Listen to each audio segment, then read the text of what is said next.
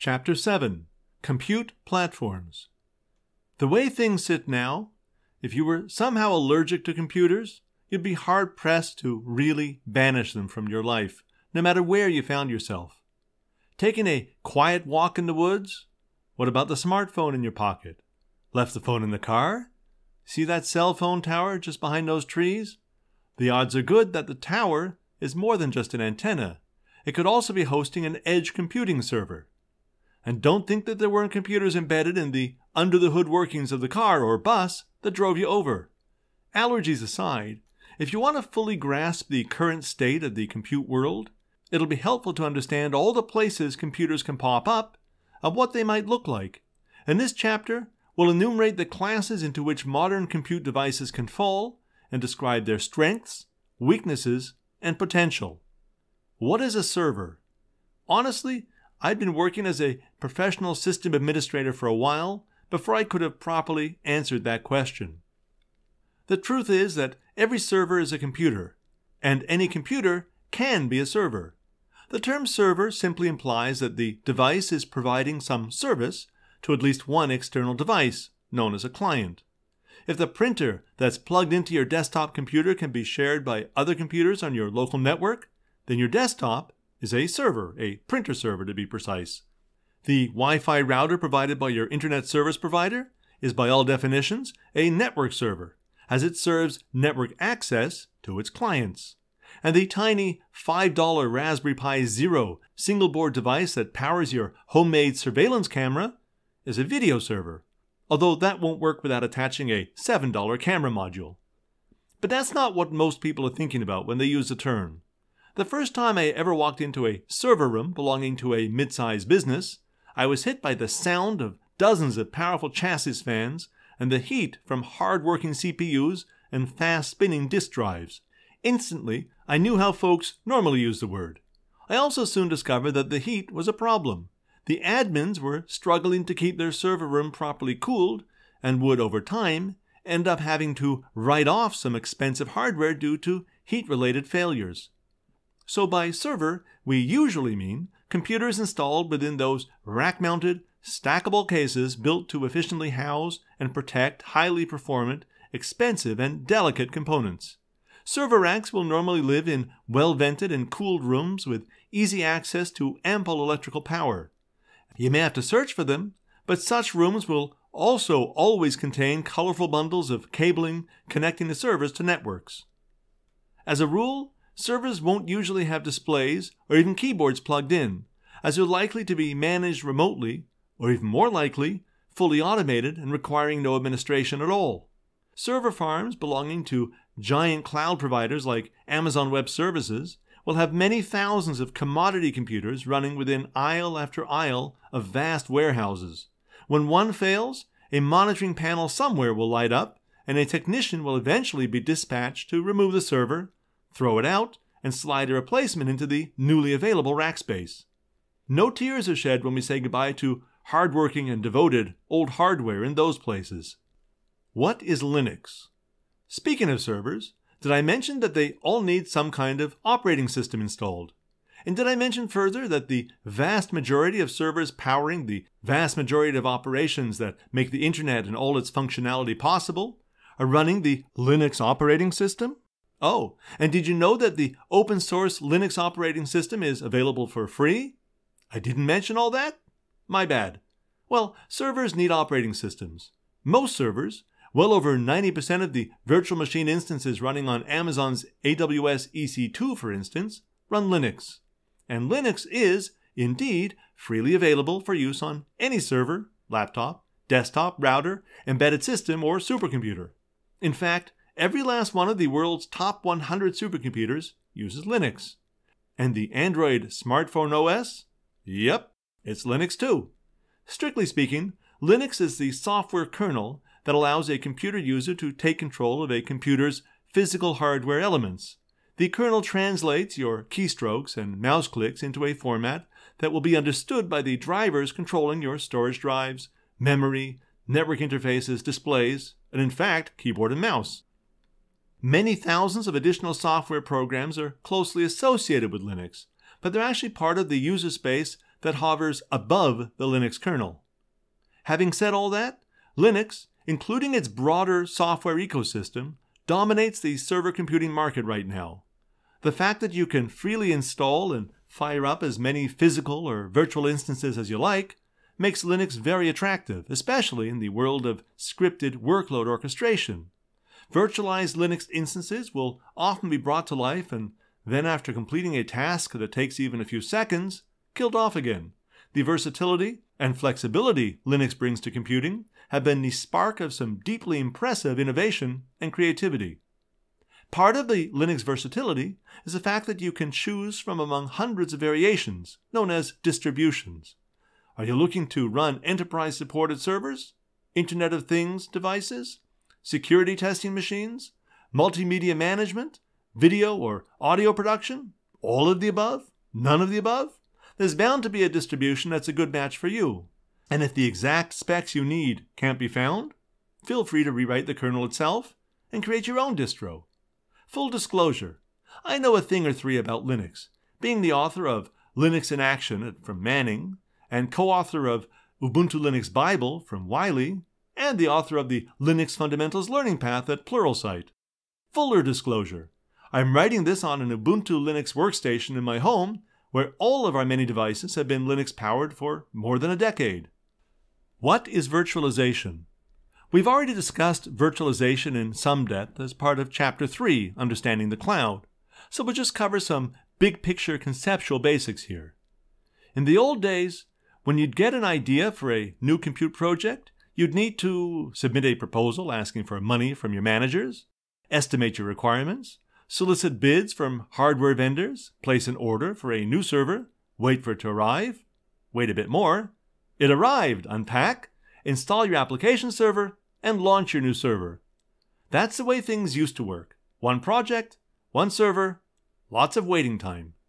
But what if you overestimated your compute needs by 50%? That'd be a few thousand dollars down the drain. And if an important but lightweight project didn't really need a full standalone server, you'd often have to buy it anyway. How about if the project would only have to run for a few months? Spend the money and hope you find a new use for the thing once your initial project shut down. Awkward. Mountains of awkward. Virtualization is a mostly software trick that lets you fool multiple installed operating systems into thinking they're all alone on a physical computer when they're really sharing it with other OSs.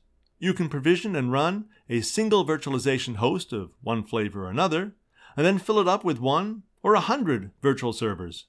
One of those servers might need a lot of system memory, but only a gigabyte or two of storage space. Another one might be heavy on video conversion tasks and storage, but is only needed for half an hour a day. A third could be a 24 7 monitoring system that just needs a quiet place to do its thing without anyone bothering it. As long as you never push the physical host past its overall resource limits, the virtual machines can all coexist happily together. And when one service is no longer needed, you can reassign its freed up resources to do something else. The ramp ups and ramp downs of a typical virtual server's lifecycle are fast. For all intents and purposes, they'll generally launch and shut down instantly. This is possible because the underlying hardware is always running, and because the OS image is small and usually optimized for virtual environments. As we saw back in Chapter 3, cloud hosted services are all virtualized. As more and more IT infrastructure moves to the cloud, more and more of your online activities will be driven by virtual machines. You won't notice the difference, but every time you search the internet or authenticate to an online account, there's a good chance that it's a container or VM you're connecting to, not directly to a physical machine. Where do you go to get some of that there cloud? Like virtualization, we also talked about the cloud back in Chapter 3, which would make sense considering that the chapter was called Understanding the Cloud. We mentioned how the public cloud market was dominated by AWS and to a lesser extent by Microsoft's Azure. I'll take just a minute or two to add a quick guide through some of the cloud industry's worst jargon. Infrastructure as a Service IaaS environments give you full access to virtual server instances. The provider will ensure the underlying hardware, networking, and security elements are in place and functioning, while it's your job to manage the OS and other software running on your instance. Major IaaS players include Amazon's Elastic Compute Cloud EC2 and Azure's Compute. Platform as a Service PaaS environments hide most or all of the infrastructure administration tasks from you, leaving you with an interface where you can run your own data or code. One good example is AWS Elastic Beanstalk, which lets you upload your application code to where it'll be automatically deployed to Amazon's cloud. Other providers in this space include Heroku and Salesforce Lightning Platform. Software as a Service SaaS environments expose only an end user interface, managing all layers of the administration infrastructure invisibly. Microsoft's Office 365 and Google's G Suite are widely used SaaS office productivity tools, but is a growing marketplace of SaaS tools providing online software equivalents to many applications that in years past could only be used on standalone workstations. These applications included accounting, computer assisted design, CAD, and graphic design solutions. Consumption based pricing, or as it's sometimes known, pay as you go billing, is a cornerstone of the cloud concept. The idea is that you don't have to gamble by investing upfront in infrastructure, but you can pay incremental amounts for units of compute services as you use them. It might not always come out cheaper in the long run, but pay as you go definitely makes it easy to test application stacks and experiment with multiple alternative configurations before pulling the trigger on a full deployment. It also means that, assuming you don't make any dumb configuration mistakes, it's nearly impossible to badly over provision. On demand is also sometimes referred to as self service. The ability to request instant delivery of compute resources any time of the day, week, or year gives you complete control over your organization's application life cycles. You're never at the mercy of other people's schedules and limitations. Service level agreements, SLAs, are legal disclosures published by companies in the business of providing services. Even if the standard of resource reliability provided by the major public cloud platforms is generally excellent, accidents will happen. When you pay hourly or monthly fees for cloud services, the company's SLA tells you that you should anticipate downtime of a certain number of minutes or hours each month. As an example, Amazon's SLA sets its EC2 availability rate at 99.99% each month. If in a particular month you encounter greater downtime, you might be eligible for service credits or refunds. Multi tenancy is the placement of virtual instances belonging to multiple cloud consumer accounts on a single hardware resource. A multi tenancy setup for a server instance will probably be significantly less expensive than a dedicated instance. Choosing a dedicated instance, however, would guarantee that your instance will never be hosted on a physical server alongside an instance from a second account. Security or regulatory considerations might require that you avoid multi tenancy. Migration describes the process involved in moving existing business application and database workloads from local, on premises deployments to a cloud provider. Providers often make specialized tools and free tech support available for migrations. Elasticity describes the ways virtualized cloud resources can be quickly added to meet growing demand, or equally quickly reduced in response to dropping demand.